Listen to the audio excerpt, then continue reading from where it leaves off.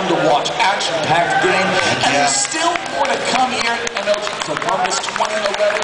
For now, we might have a good Let's hear it for DJ Wheat for DJ Wheat.